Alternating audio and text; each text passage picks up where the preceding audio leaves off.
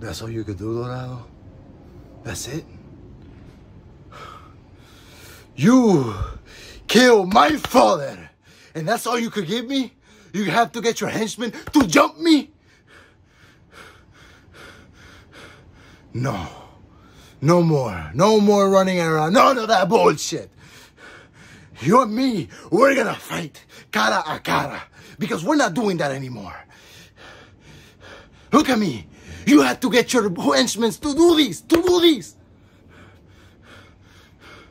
How about you come see me in the warehouse by Santa Cruz Supermarket?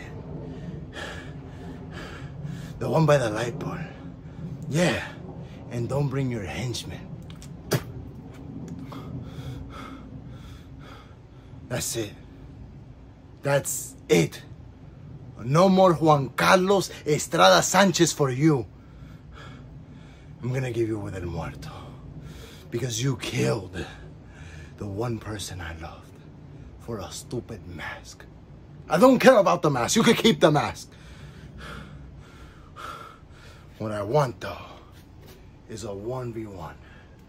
You and me, all luchador style. We put our blood into it. We're fighting for not only our honor and our legacy, we're fighting for our lives. So how about you step on the ring with me in the warehouse and we'll put this beef aside. This is for my padre. This is for everything.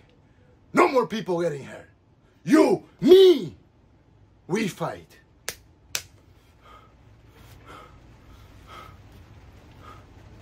I'll meet you next time. Don't ever mess with my family again.